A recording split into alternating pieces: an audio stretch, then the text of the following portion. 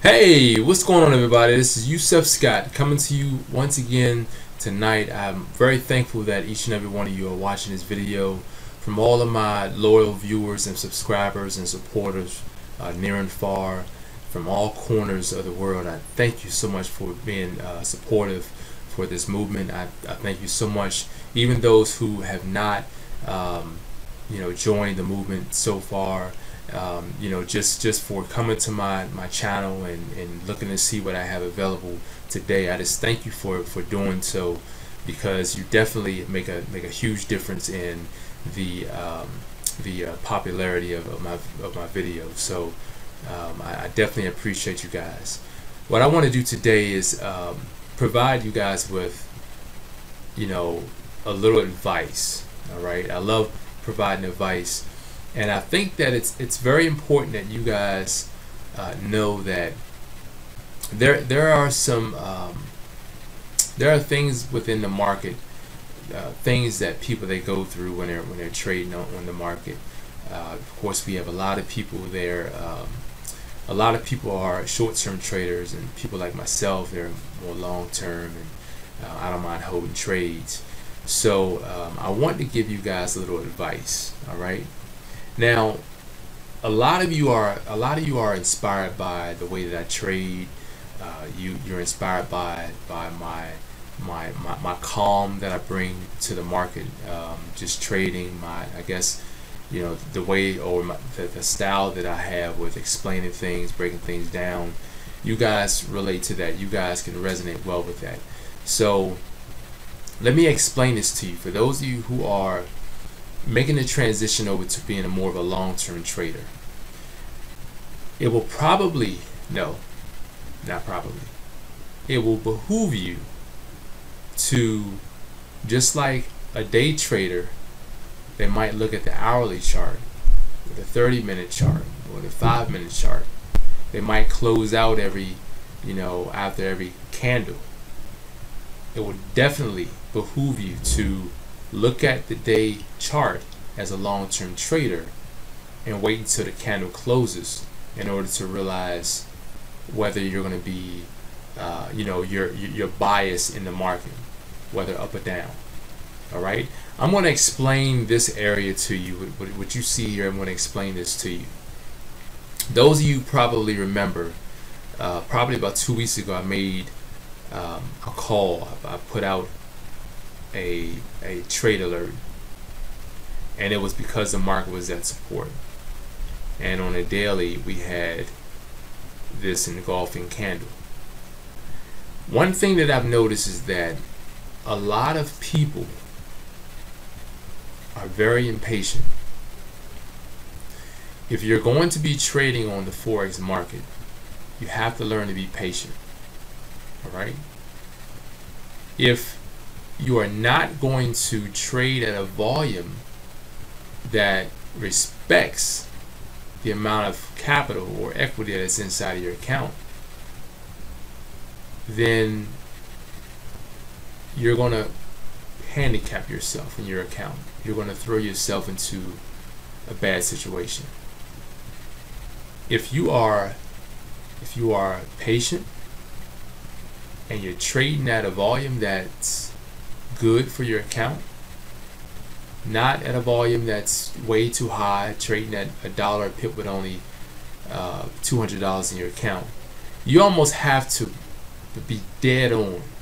You have to be spot on rather when you when you place your trade in order for you to make it work without risking your account because when you're trading on a pair like the GBP NZD where it moves, it can move 100 pips in 30 minutes, you could find yourself throwing your, your, your account away. Alright, so basically the message that I want to bring to you guys is, you know, you have to, you have to, uh, you have to be patient and you have to remember that the volume size that you're trading at will determine the outcome and how long you can actually trade the market. All right. I would rather be able to trade, have a bad trade running from here and be able to make it to here than just to here to here. All right. Some people trade so high that if the market they put a bad trade in here, by the time the market made it halfway, halfway up the candle, they're out of the market. All right. If you trade at a smaller amount, where the amount traded will will not hurt you if the, if the market went against you for a couple hundred pips. That's when you have maximum strength inside of inside of the market. You know, the market makers, the big banks, they can't make the market, they can't toy around with the market so it go against you and throw you out of the market. You know, so if you guys, and I know that I, I probably sound like a, a, a broken record, and I actually do that on purpose because I know that when you constantly hear the same thing, it plays on your mental. All right, it plays on your mental. Eventually, you're gonna remember, and it's gonna become ingrained in you. You know, just like me speaking to my daughter, I tell her, Genesis, don't do this. Genesis, don't do this. She eventually knows that she's not supposed to do it. And if she goes to do it, she'll look at me to see if I'm looking, because she knows that she's not supposed to do it. All right. So if you if you're tired of the market going against you, and you're tired of being thrown out of the market, then that's like me telling you, why'd you do that? You know you're not supposed to do that. Trade at a, a at a smaller volume because you want to be able to take the market from here to here, and you want to be able to make. If you got in after that, you want to be able to make a thousand, eleven hundred pips. You know, I mean, you could have made eleven hundred pips in two weeks trading at a dollar. I'm sorry, you could have made eleven hundred dollars in two weeks trading at a dollar. About the average salary of someone, five hundred fifty dollars a week, I suppose. So you figure that's not bad. You know, you could slowly grow your money. So um, I, I, I want you guys to know that um, I guess being being uh, patient in the market will, will go a long way. Trading at a great volume will go long will go a very long way. Um, if if you are if if you're rushing into a trade and not allowing for the setup to take place to actually set up that's the reason why it's called a setup. You need to let it set up. Finish the setup so you can see what it's going to do. If you don't allow it to finish, then you're jumping in prematurely. And that could be that, that could be quite disastrous. So you want to make sure that you're getting in after the setup. All right. Um, a few other tips that I want to give you guys is if you are trading long term, this is my opinion. All right, this is my opinion, and you guys can check this out for yourselves.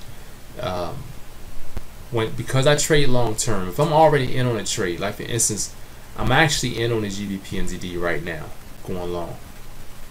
So let me break this down. Okay, you had the market at support. Okay, the market was at a great level of support. All right, as you see, this is the second time it reached this level ever. So we know this level, the market probably would not go below this level. Probably. So you expect it to bounce off the level. Not saying that it will, but you wait for the you wait, you wait for the confirmation, you wait for the setup. So the setup had taken place, you got the bullish engulfing candle, it moved up. Alright? So we know the market is going up. But however, after that Friday, following the Brexit, on that Sunday, Monday, like tonight, the market gap down. At this gap, that created, as I was telling my students, as I've put out there before many times, this pair creates a gap, and it's, if it's significant, it becomes a resistance or a support, depending on which way the market is on. All right. In that case, it created a resistance. And as you see, the market went up and hit and bounced off. All right. Now I want to give you guys a little example. I want to give you some advice. Um, because the market gapped down and then it went sideways, it sort of created another level of resistance or support. All right, that's why I have another line below the candle's body. All right, and also above it. So it sort of created a couple different levels of resistance. And as you see, when the market went up, it came up to the first line and backed off. Went up, went up to the first line again, backed off. Went up the next day, didn't go any further, but it gapped up the next day and look where it went to. To the gap. Alright? Then it bounced off. Back down, went up some, backed off the next day, and right now we're in between. Alright? We're in between. So it's, it's a it's an inside body. So we we we um, an inside bar rather. So we we wait for we wait for the next move. Now, let me tell you, let me explain to you why I did not get out that uh, last Friday. Reason being is that the market broke down to this. Okay, it came down and it backed off. The next day, Thursday, um, I'm sorry, the next day, Friday, it backed down. It was up first and it backed down. Now, because it backed down, all right, I'm gonna let today give me the I'm gonna I'm gonna let today's candle create the bias for me. Okay, if it goes further down, then I it, I'll be more inclined to get out. If it goes back up, then I know it's going to more than likely range at this at this level, and I could probably make this a little longer. So I can expect it to range at this level probably. It might go down some, but um, you know that's that's what I'm expecting. All right. Now expect keyword. Okay, you're expected to do something, but you don't trade on it until you get what the confirmation. All right. So if the market is at this level and if it starts to just range or if it starts to go sideways, consolidate, then it's telling me something. All right. Just like you, let's see. I don't have a bottle in here, but if you're shaking a bottle up, okay, you're shaking a bottle up, all right? You're shaking a bottle up. Now it's, it's fully enclosed. It's fully closed. Take the top off. Boosh! It's going to explode. All right. So when you start getting consolidation at this level, eventually it's going to go up or down. When it goes, it's going to blow. I'm telling you. All right. Now, one thing for certain that you have to remember is that just like when you're dealing with um, breaking through any barrier, the thicker the barrier, the more force or impact you need to break through it. Right. The thinner, the easier it's going to be. So, that being said, if this level is very strong, you're going to need great momentum to get through it. Right. So I would not be I would not be surprised if the market didn't back down and then came up and broke through it. Okay, sort of just like a slingshot. Pull back, spring forward. All right, just like a just like a uh, a diving board. You jump on it, give you more momentum to go higher. All right, so you pull back, goes higher. That that gives me the idea that it could possibly break through it. So that's that's that's where I'm at right now with this pair and that's what I'm thinking. And I'm watching it because this is where I, I make a lot of money on this pair. And right now my job is to teach each and every one of you to do the same. All right? Now of course I, I don't put out all of this all of these uh, topics I'm sorry tips all of the time especially in great detail like this. But it's important for you guys to know why I make certain decisions that I make why I decide to hold my trade and not take the money. Now I, am a patient trader. I know that I have money inside of my account and I know that I'm not trading too heavy. I can easily take profit if I wanted to. Without a doubt, I can easily do that. But I'm letting price action guide me. Every candle that closes, I'm allowing it to guide me. So this is what I do. I want to give you guys a little advice. All right. I want you guys to let the day candle closes first before you jump in. All right? Like for instance, if I got in right now, I don't know which way the market is going. It's it's the it's the uh, Sydney and it's the Sydney and Tokyo session. These sessions are not the very low volume volatility uh, sessions, so I don't get real bent about a shape about it. I wait until the London and New York because what happens the market could be going up right now and as you see, since the market opened up, it's it was bullish and it was bearish. All right, so it can easily turn bearish come the London session in a few hours, or it can easily go bearish during the New York. Who knows? But I want you guys to know that there is so there is such low volume and volatility on the Tokyo and Sydney. I don't trade it. If I'm already in on a trade, I, I would normally let it run. If the closure of the previous day doesn't give me a reason to get out, I'm going to let it run until the London and New York. I would rather let it run so I can have a better, a clear, and more concise reason to get out than to get out prematurely. All right. Now that's just that's the way I run things. That's the way I do things, and it works for me. Just like if I see if I see a setup, I'm not going to get in. If I don't have no trades open, and there's a setup going, I don't I don't get in on. I'm not going to get in on the Sydney or the Tokyo. I wouldn't do that because for one, I'm on the Eastern Standard uh, Zone and that means if I'm getting in, I'm getting in like now. It's 9:25. I might be getting in, and and next thing you know it, a few hours later, I might be asleep. You know, so I might be sleeping, and, and the London might open up. It might take it in a totally different direction. You know, so you know if if that happens, I'm not up to watch it. I can't close out. I can't. I don't have an exit strategy. You know, I need to have time to make the proper move. So I'll wait until if I'm not in into if I'm if I don't have no trades open, I'm not getting in on the Tokyo and, and the the uh, Tokyo and and the, and the Sydney. There are plenty other opportunities to make money in the market. I don't need to rush to get into one that I'm going to soon uh, regret, possibly. You know, so I'm not going to do it. I can wait on this. I, I'll wait on the next setup. So I want you guys to understand this message. I want you guys to learn to be patient. Do not rush into a trade because it, it's currently is showing that it's a good move. Yes, you could have a, a perfect setup. It could look like it's a, a bearish engulfing candle, and it's gonna it's gonna go down. It could be at it could be at resistance or support. It could be at wherever it is. You you don't know, but by the time it closes, it could be the opposite. So that while it was once a bearish engulfing candle, now it's going in the opposite direction. The whole tone and my bias has changed. So I want you to know, do not get in prematurely.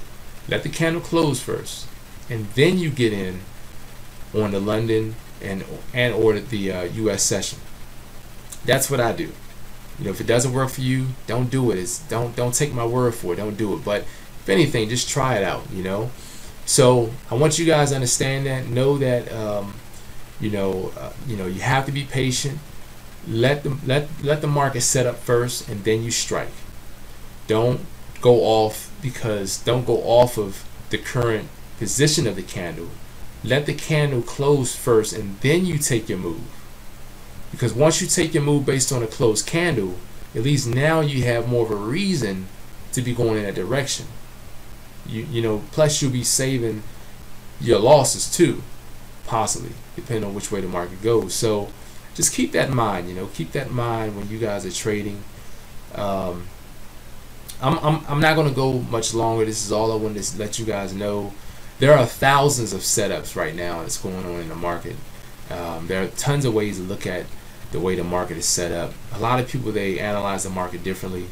Um, I like to look at the big picture and then I like to look at what's going on now and make sense out of what's going on and and don't don't just rush into any trade because you know although you have a 50% chance of winning, it's critical that you get in at a, at a good price.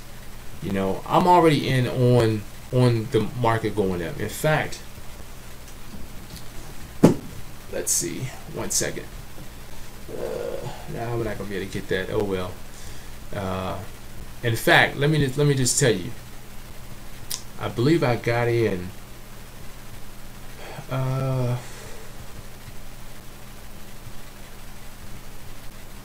I say I got in probably like a week and a half ago, and so I'm I'm pretty good on profit, but today could be uh you know today could change the way things look. Right now it, it could change things. So um, as I said, do not do not get in too early. Just just get in when the actual candle closes, and let that be your reason for going up or down. Okay. and then um, be patient. Don't over leverage. Don't over leverage your account. Do not do that.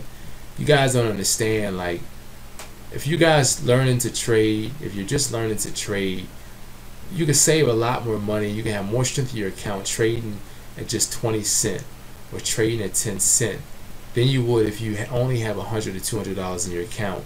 You're trying to trade at a dollar, and if the market goes against you for an hour at 50 50 pips, that's half your account you're blown. So don't do it. Stack your money first, and then then increase your volume as you go. You know, so uh, that's the advice I have to give y'all today, to you all today. Um, hopefully, this message has come across um, as as welcoming and and and, and helpful.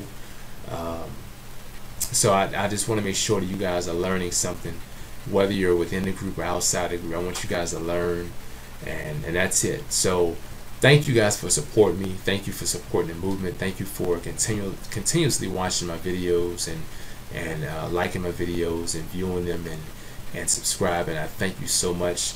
Uh, if you have any questions feel free to email me so sodarneasyforex at gmail.com and then also if you want to know more information about the services that I do provide you can go to sodarneasyforex.com to view my many services and products. And then um, if you want to call me 929-274-0555 all right until next time you guys.